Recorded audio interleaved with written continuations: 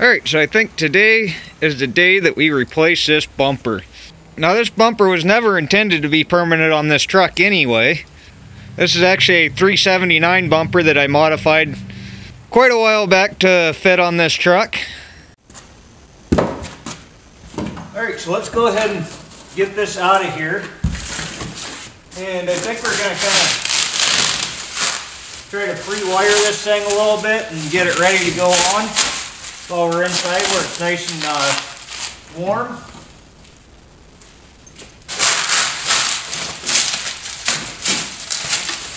It's actually a pretty nice day outside today. Uh, I don't know, probably lower 30s Fahrenheit. So I think I'm going to put the bumper on outside. I don't think I'm going to bother pulling the truck in.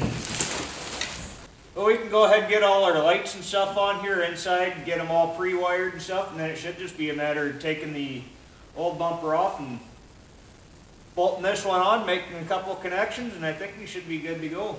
Boy, I love looking at new chrome. This is going to look nice.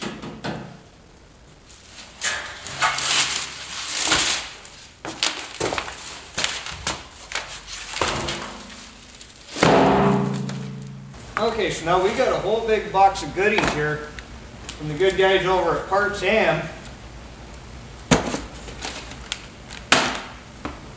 And the vast majority of that is going on this bumper here.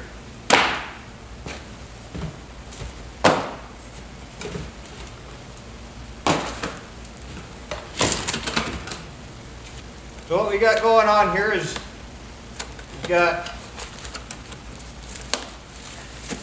two of these lights here. They actually sent me four of them. I said two and they sent me two pair. I got another idea for what I'm going to do with, uh, with the other two here, but we got the round lights or the red on the backside, yellow or amber or whatever you want to call it on the front side. We're going to mount those we're going to mount these on the ends of the bumper like I've had previously on this truck. Got two packages of 10 of these 2 inch LEDs for the front of the uh, bumper here. These are actually a pretty cool looking light. I think they're going to look really nice all lit up. So we've got 20 of these, we've got 15 holes, so we're going to have five left over. Now, these particular ones that I chose here, they do not come with the grommets or the pigtails. So they sent me a couple uh, packages of grommets and pigtails here.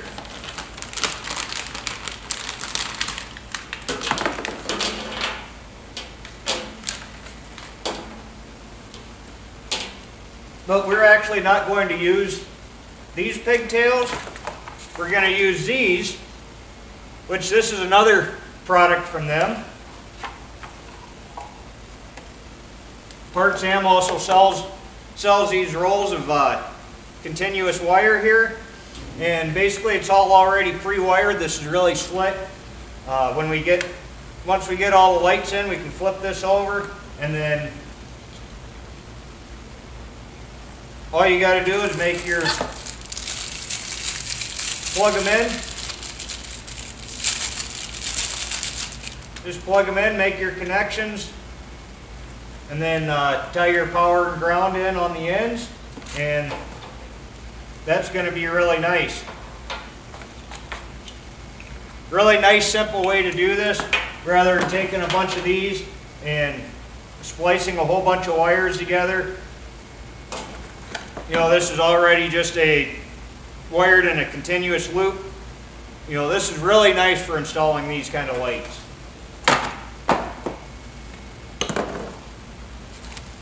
But we're going to start out, we're just going to get our, our grommets put in here.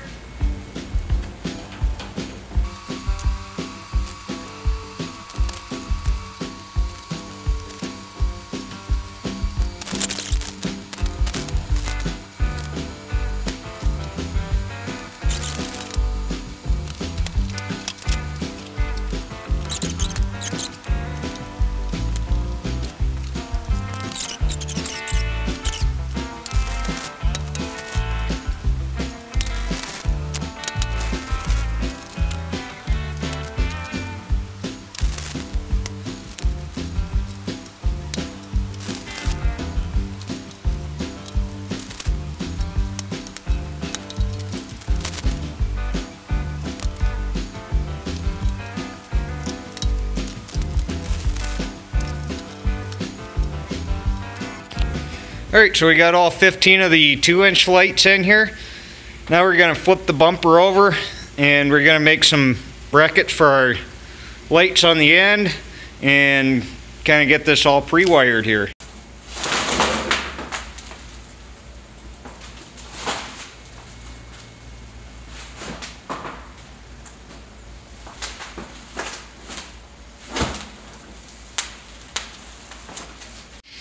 Okay, so next thing I want to do is I want to make the brackets for my lights here. Basically, uh, I got a piece of this, I believe it's inch and a quarter by, I don't know, about eighth inch. And I went with galvanized just so it doesn't rust as much. We're going to go ahead and spray paint this. That's why we're going to do this first, so I can spray bomb that quick, bolt it on, and uh, yada yada. So basically, I'm going to cut this here, we're going to bend to 90 here and we'll make two of them exactly alike.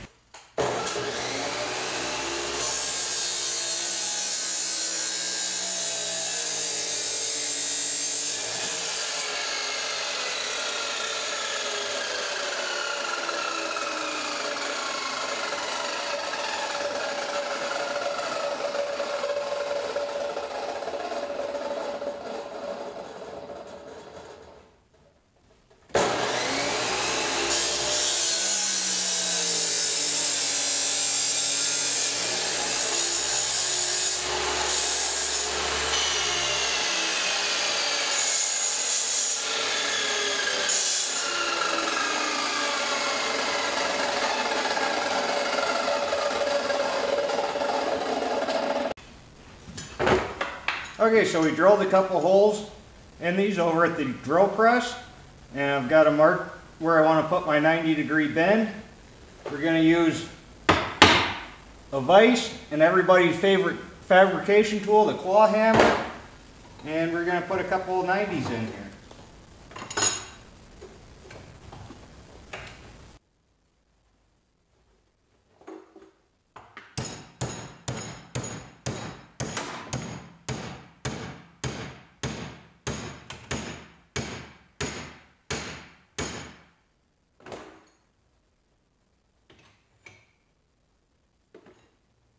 Alright,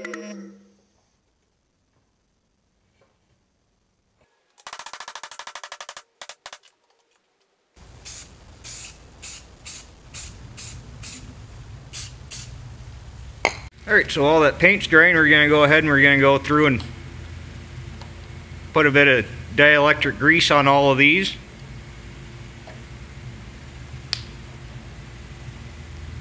Then we can just go ahead and start plugging these guys in.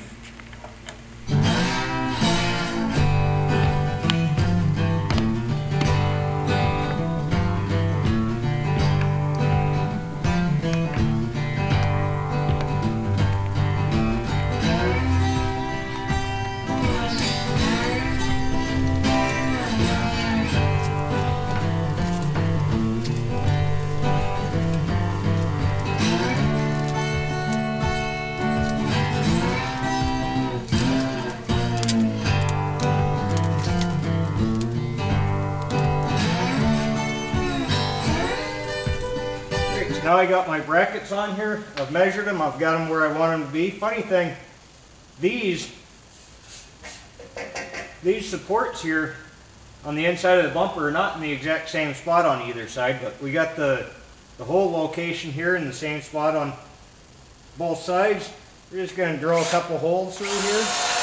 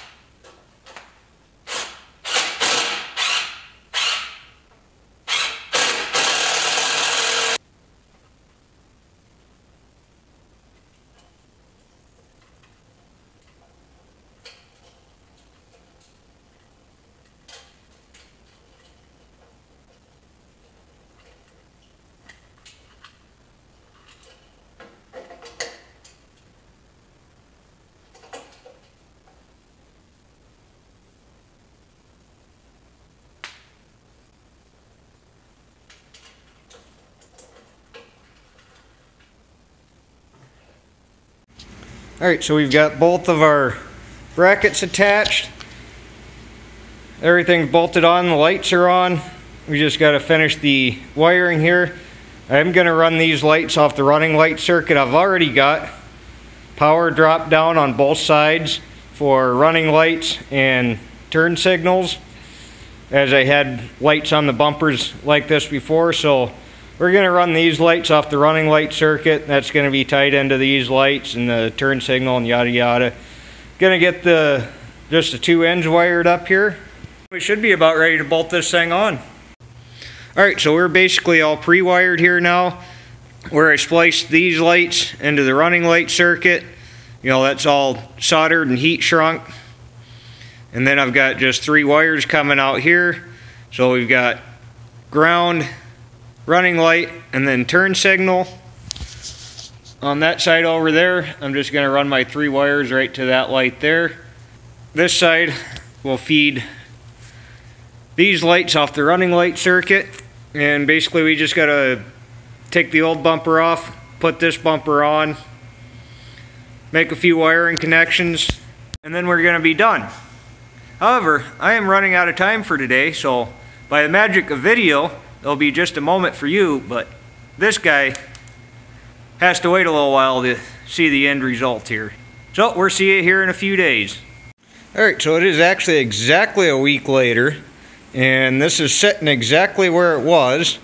And if I remember right, this was all wired, ready to go, all the Partsam lights installed in it, and we just got to bolt this thing on. I've got Old Red out here, I just finished changing oil and stuff on it and I've basically got this bumper ready to come off. Just got to zip the eight bolts out that bolted in the center there, drop it off, put the new one up. So let's get to it.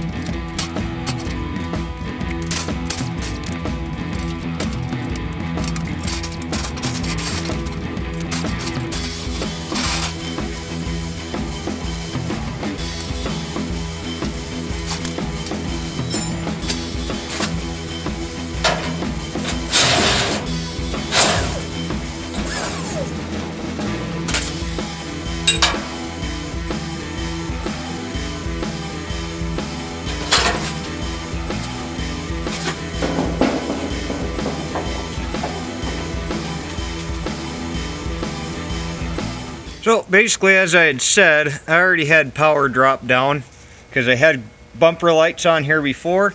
So I got running lights and turn signals that drop down there. And they just come up from this turn signal here and run down. Got that all loomed and secured there. And we got the new bumper on the truck. Alright, so it is early, early the next morning here and Getting ready to head out, go haul some loads.